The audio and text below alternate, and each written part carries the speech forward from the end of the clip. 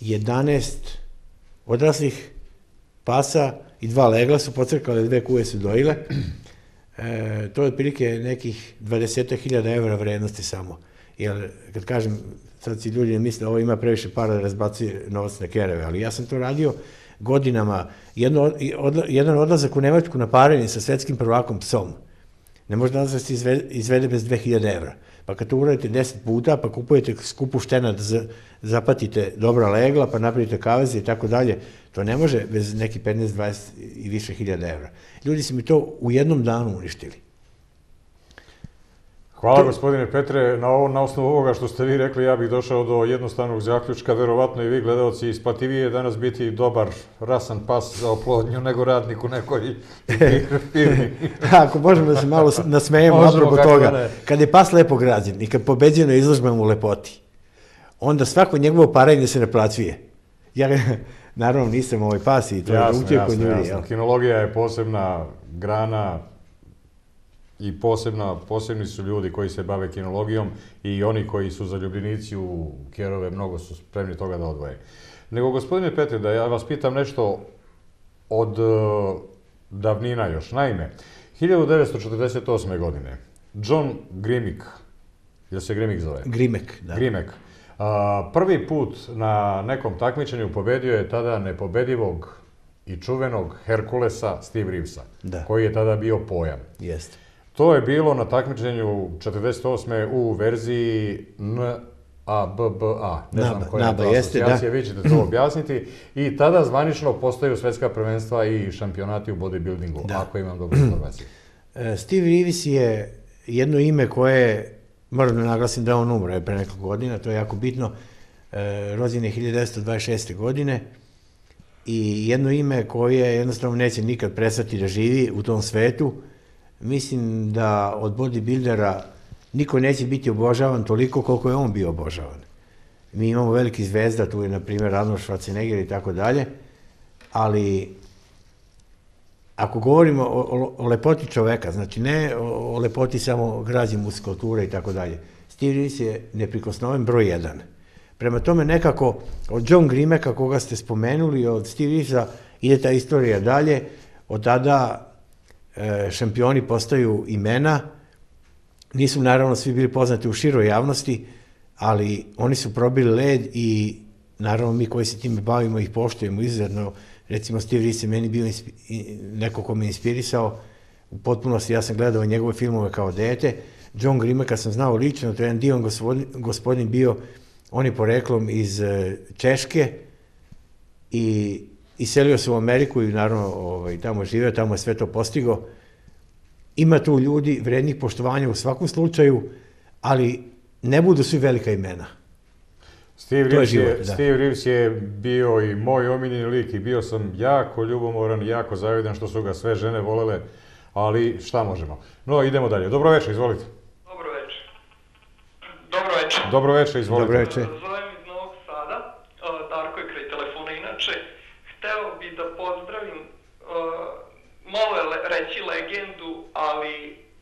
Našoj zemlji prvu osobu koja je unela bodybuilding u našu zemlju. Mislim da njega nije bilo da bi tek nakon 10 godina čuli se, čulo se za bodybuilding. To je osoba, znači ja sam dosta mlad, ali vrlo rano, sa neke tri godine kad je brat donosio časopise, sam se upoznao sa bodybuildingom i počeo sam da ga volim, da, da, da sam danas počeo i da se bavim u jednu ruku tim sportom. Želeo bih da pozdravim Petra Čelika koji, malo je reći, kažem opet, e, legendom, jer je on nešto mnogo više za ovu zemlju od legende, ali ne za ovu zemlju, nego za onu jednu veliku, lepu našu Jugoslaviju koja je bio, bio stvarno na prvom mestu. Sad je lako reći da je ovde neko legenda u ovoj maloj zemlji, ali u staroj Jugoslaviji on bio legenda. I želeo bih samo jedno pitanje da mu postavim ukratko, koje me zanima. Uh, da li, uh, znači, sistem od tri dana treninga u nedelji je dovoljan za dobijanje na, miš, za dobijanje na masi. Uh, I da li ima neki savjet da mi da, pošto imam malo brži metabolizam, pa da mi ukratko neke savete da koji mogu da mi pomognu da dobijem što veću kilažu, nekim, ajde kažem, prirodnim putem uz neke prirod, prirodne suplemente to lepo. Hvala vam najlepše na javljanju. Petar će vam odgovoriti, ovaj, ja ću ga zamoliti da bude što kraći, jer pred nama ima još dosta materijala, a malo vremena. Samo ću se nadovezati na vas. Petar Čelik nije samo legenda sadašnje i one malo veće Jugoslavije. Petar, Petar Čelik je svetska legenda. Izvolite, gospodine Petar. E, prvo moram da se zahvalim tim rečima, pohvale. E, znate, lepo je to čuti, neki način je nezgodno. Ovaj, e, ja, ja sebe vidim kao običnog čovjeka, za mene sam ja mislim kao svi drugi se osjećam, ali stvarno divno čuti te reči hvale i ja se vama zahvaljujem u srce na tome. Što se tiče pitanja koje ste mi postavili, ovaj, to što imate brz metabolizam, to samo može da vam koristi. Znači, svi oni koji imaju usporen metabolizam, oni se lakše goje i teško da mogu da budu dovoljno mišićavi. Dakle, imate donekle sreću, jel, ako je taj aspekt u pitanju. A tri e, treninga u toku nedelje To je dovoljno za početnike i dovoljno do nekog srednjeg stadijuma. Znači, ako nemate takmičarskih ambicija, onda je to u svakom slučaju normalno i dovoljno je da tako radite, ali kažem vremenom telo uh, se zasiti na, tom nivou nadraženja mišića i onda naravno ovi koji se spremaju za takmičenje treniraju više od tri puta nedeljno. Dakle, u svakom slučaju e, nastojite da budete redovni u treningu, da se pravilno hranite, i radite to sa voljom, to je jako bitno. E, nadam se da ste zadovoljni odgovorom našeg gosta. Ono što, čega ste se dotakli u vašem pitanju, upravo je to sledeća naša tema. Molim režiju prilog broj 3. Ovo su vaši čelova. to su neke stare moje fotografije iz negde iz 70. i 80. godina. To su vaše brošure izgradnja mišića po grupama. Jeste, da. Ja sam autor tih brošura i one se čak prodaju tu u, Novom Sadu na Spenceru knjižari, mogu ljudi, ako žele, mogu i meni da se obrate. Ovaj, sad pišem jednu najnoviju knjigu koja će biti onako malo impozantnija, sa puno tajni o treningu i o ishrani, jer uvek ima tu prosile nekih e, trikova tajni e, koje se ne znaju uvijek do kraja, tako da koga to zanima više, uskoro će moći da sazna, a umeđu vremenu ovaj, da iskoristim ovo vreme dok idu ove fotografije. E, u drugoj polovini meseca januara, znači to je za nekih 20 dana, ću da otvorim e, fitness centar u Novom Sadu i ljudi će moći da nabavite brošure i tamo. Evo, upravo smo videli, nadam se da ste i čuli šta je gospodin Petar komentarisao dok su išli ovi prilozi. A, pored toga što se Petar bavi sportom, što se bavi poslom, bavi se i izdavaštvom, odnosno pisanjem stručne literature iz uh, oblasti, odnosno iz sporta kojim se bavi, iz bodybuildinga. Videli smo ovde nekoliko, mada toga ima mnogo, normalno nismo mogli sve pokazati, ali videli smo nekoliko njegovih brošura gde, gde je obradio posebno mišićne grupe, kako i na koji način postići da se dobije na Za svaki deo tela za posebno. Svaki deo tela posebno. Videli smo i naslovnu stranu časopisa, legendarnog časopisa Herkules, koji je uh, obeležio 90, odnosno 2003. obeležio 31 godinu postojanja. Da. Da li Herkules postoji još i da li... On postoji, do duše u Srbiji nije izašao već godinu dana, ali u Makedoniji izlazi redovno i sad ćemo to da rešimo zašto izdavač u Makedoniji ima svoju štampariju, pa ćemo to da objedinimo i mislim posle otvaranja kluba, kad rešim neke svoje finansijske probleme, onda iće to redovno ponovo u štampu. E, hvala gospodine Petre.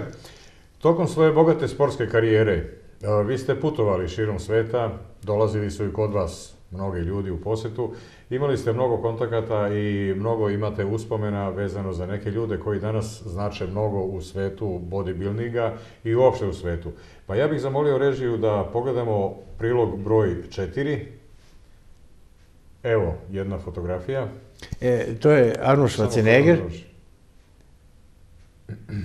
E, želeo bih da dam jedan komentar s obzirom da smo pominjali Steve Reevesa. Da. Evo, kad, završi, kad prođe prilog.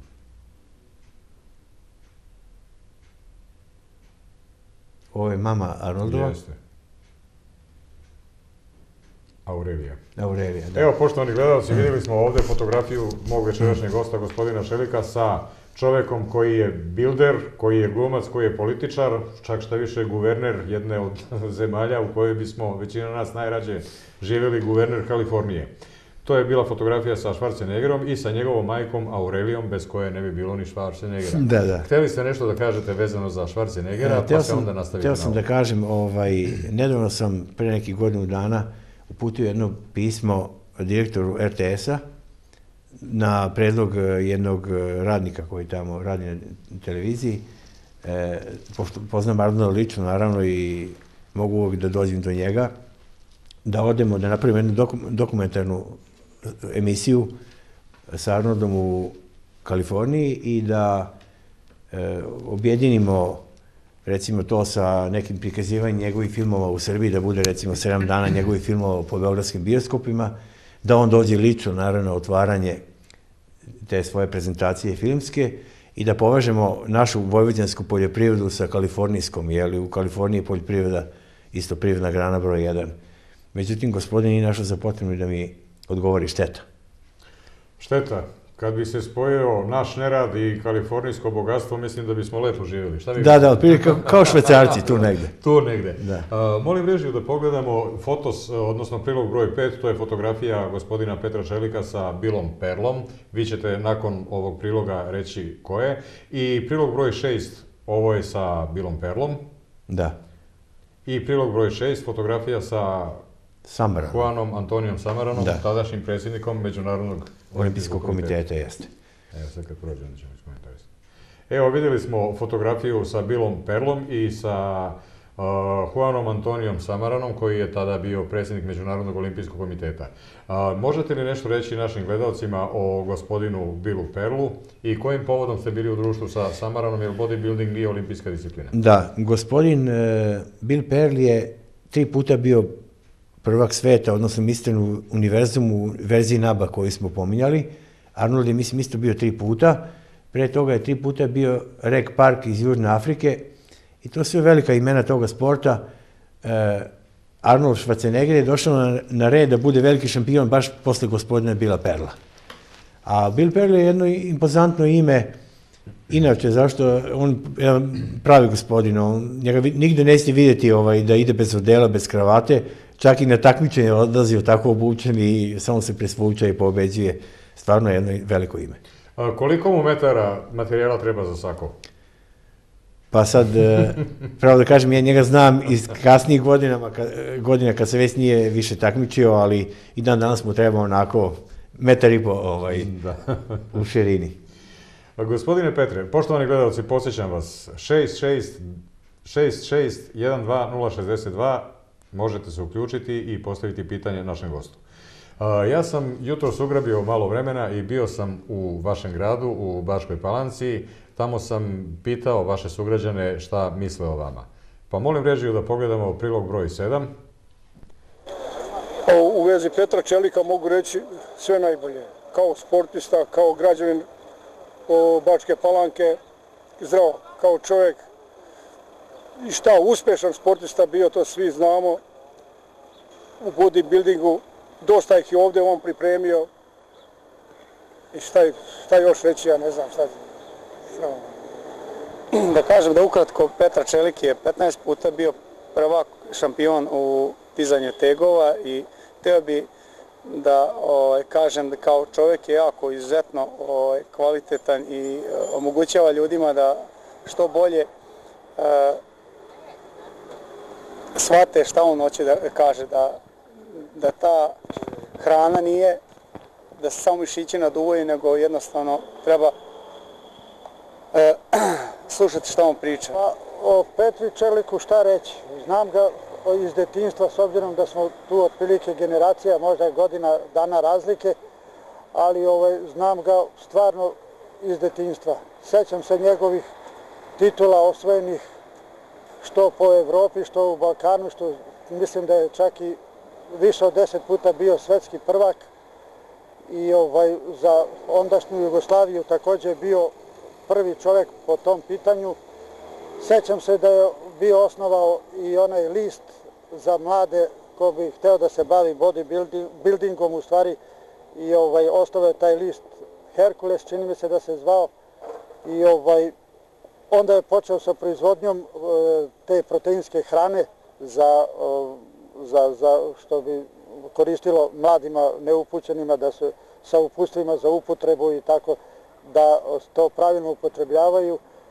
I ovaj, izuzetno je cenjen u svojoj sredini i u ono vreme i sada. Mnogi ga nisu zaboravili.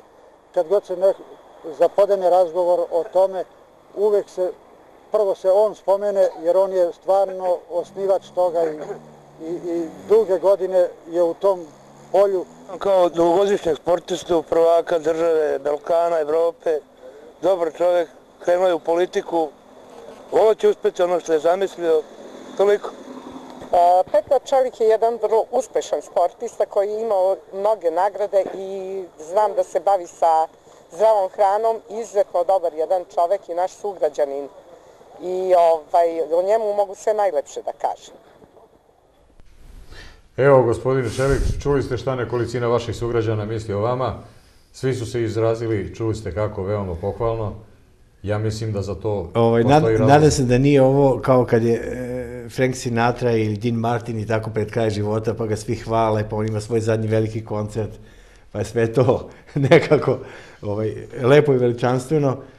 Ovaj, čovjek dobija priznanje tek kad je matora, mislim da to treba i mladima ovaj, ukazati te počasti. Ima, ima vrednih ljudi, mladih, zaslužnih i tako.